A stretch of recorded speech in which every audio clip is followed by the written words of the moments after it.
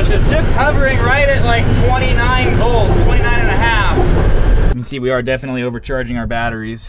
Well, what a beautiful November day.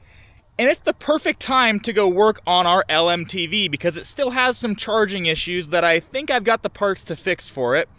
But what a perfect vehicle to take other than our patrol. Hopefully it starts. It's, little, it's been a little bit. If you guys want to see more on this truck, more than happy to do a couple videos on it. It's going to be in a couple later episodes because we're going to put a big giant motor in it that's bigger than the stock one. Hopefully it fires up. Ooh, she looks a little low on battery. Please start. Oh yeah. Oh yeah. Oh yeah.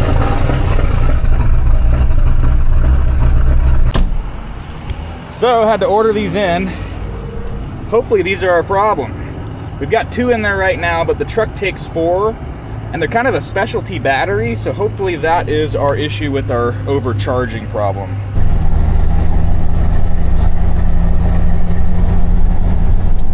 gate's open, see if anyone's here. The gate is open. Who do we got? Probably just Bomba.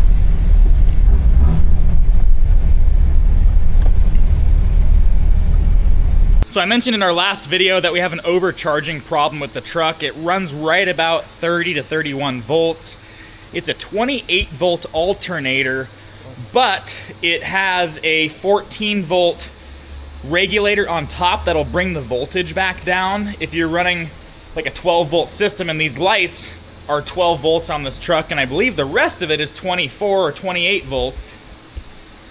So currently we only have two batteries in here and I've jumped it over to make 24 volts.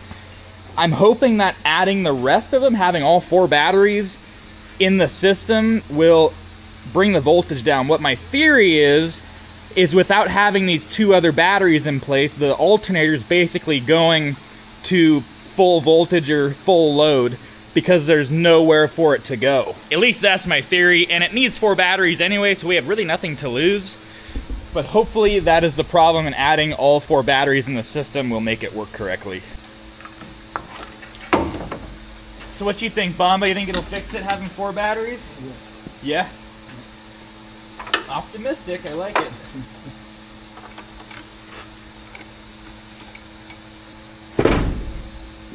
uh-huh.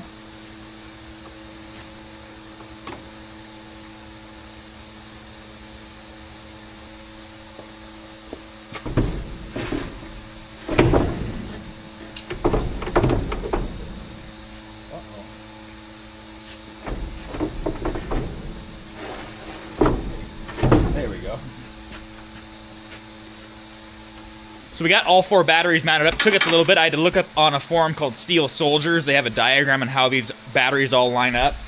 Now this kind of adds to my theory here of only having two batteries affecting our charging system.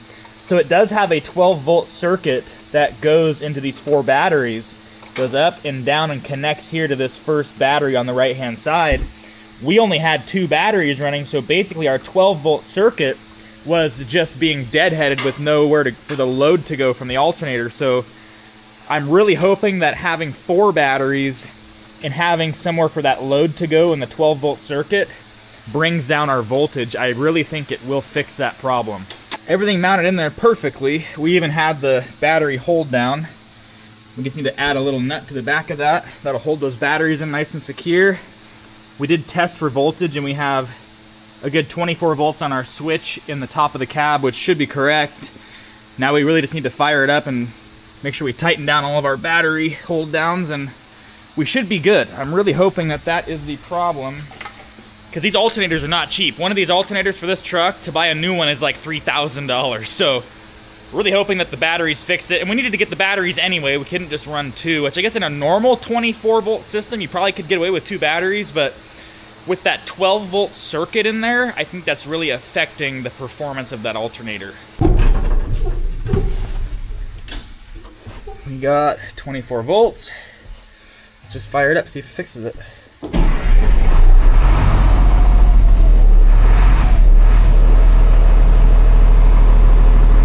Hitting right at 28 volts. Now we're just gonna hope that it doesn't trail off over here. So it's hovering. She's still in the green, but she's right in between 28 and 30 volts.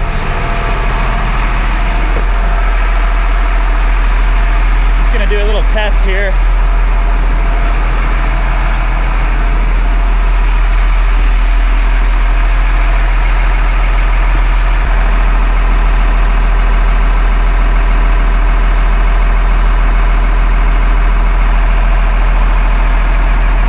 charging right at 30 volts. It's not really going past that. So it could be because our batteries were a little low and it's trying to equalize. It's a 28 volt alternator. So I ran it for about 20 more minutes and it's the voltage comes out, it started actually coming down and it's hovering right at like 28.8 volts to 29 volts. So I think we're okay.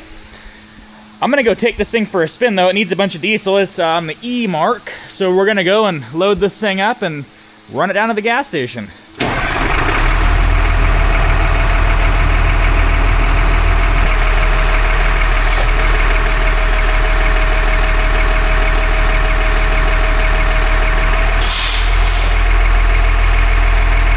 Almost made a huge mistake.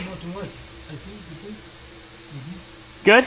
Yeah. Yeah, it's good we filled up our that rear diff yesterday and I was thinking I was forgetting something, but we definitely forgot to put the drain plug in it, or the fill plug. That could have been bad.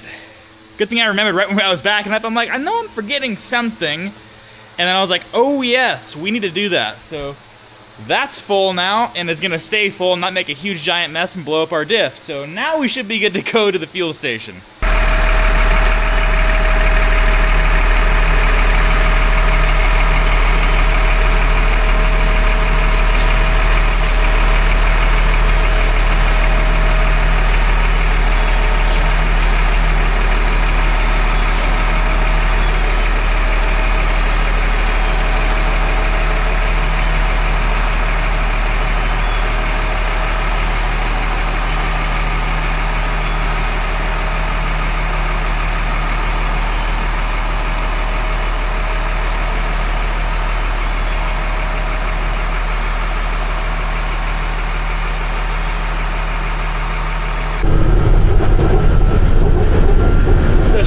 Hovering right at like 29 volts, 29 and a half. So I'll have to have some of you army guys chime in and tell me if that's good or bad. Because I've never seen a 28 volt alternator and a 14 volt, you know, divider on that generator. So is this good or bad? You'll have to tell me, I'm not sure. It's still in the green, but I get that's a dummy gauge. So please let me know in the comments if this is good or bad. Drives great though, other than the steering wheel being totally sideways.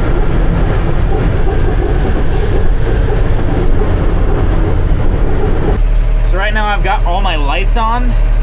We're just right in the danger zone, but then I switch them off and it goes right back into the middle. So I'm gonna check our light system. So that's all the lights are on. Got the multimeter.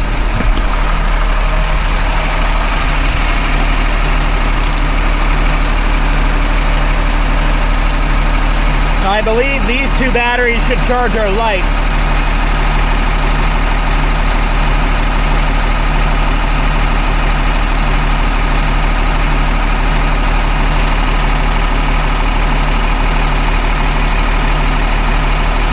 Come on now. There we go. 14, 14 dead, pretty much. And then the back two should charge. Yeah, see, we got a problem. See, we're pushing acid out of our battery. So we are definitely overcharging.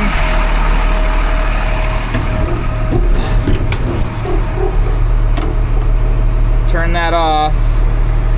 So we're definitely overcharging our batteries. We're starting to push acid out of them. That's a problem. shut it off. Now this is kind of odd, watch this. So I let this thing shut off for a little bit and then I turn this back on. So we should be at 24 volts. Definitely too high. But watch this. See, that's pretty odd. So last time I started it, it backed off and went down to about 27 volts and then jumped back up. See, and it's still, it's starting to go down a little bit now too. So now we're reading just above 28 volts. What if we got a bad ground somewhere? I'm gonna go get this cab tilted up and we're gonna clean all those connections on that regulator and see if that's our problem. Because now we're a little bit below where we should be at. Odd. How do you believe me when I said I was gonna be a pro cab jacker offer? Yeah, we still got a problem for sure. One of the batteries is starting to leak. Yep. Yeah, the acid is coming out of one of the batteries. Oh. I mean, it's overcharging. So let's. We're gonna go. We need to take all those connections off the alternator, Yep. clean them really good, because it's kind of bouncing. I, I fired it up when I was driving it in here. Mm-hmm. It went back down to 28 volts exactly, and then it kicked back up. So I wonder if we got a bad ground or something. I mean, with this truck being from Hawaii, it could be corroded. Okay. Pro cab jacker offer. Wanna try? No. I think that that's the pump, no? Yeah, pump's bad. I think our problem's the alternator for sure. Oh. 100%. Okay. You don't have in the warehouse? No. Because it's that weird 12 volt or 14 volt, 28 volt military weird thing. That is 12? No, it's 14 and 28. Oh, okay. 14 million. So, let's just clean all the connections really good Yes. and see if that fixes it. Everything. Okay. Because this alternator is $4,000 if we have to buy one, so yeah. A little too expensive for me. So one of these wires is gonna make it go full party mode, which is should be our excite wire. L35, it's probably, it's one of, it's this wire right here is the excite wire. So right here, they've got it kind of tied in some other stuff. So it's number number 97. 97L is our excite wire.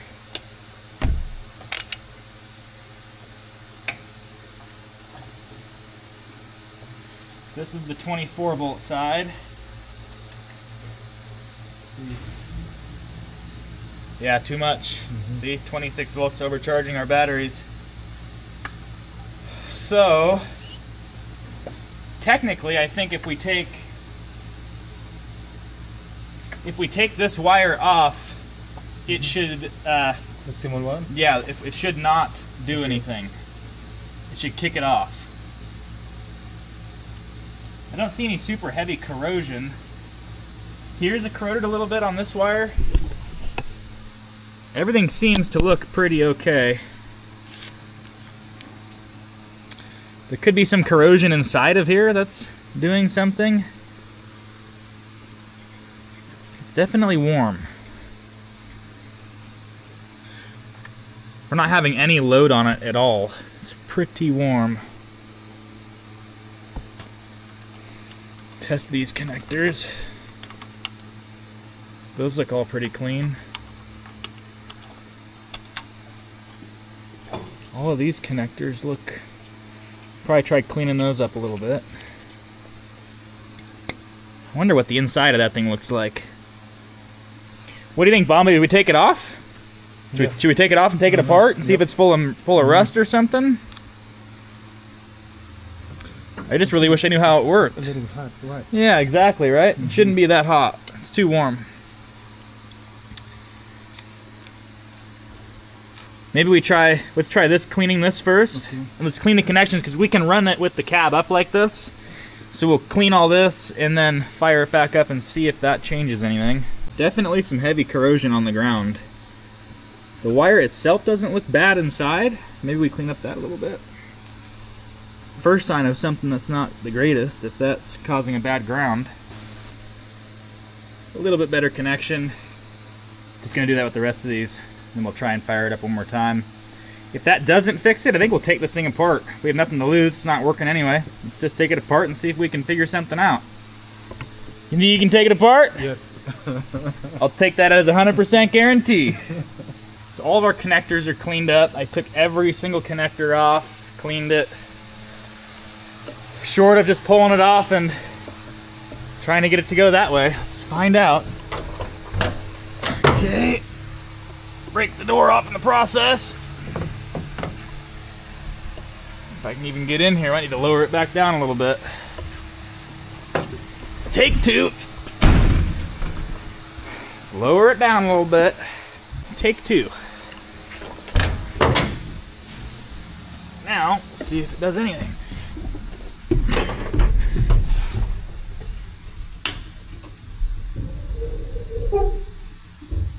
Ready, Bomba?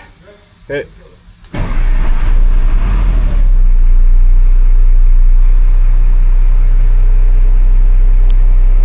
She's chilling right at 28 volts. Please fix it. Well, now we're partying right below 28.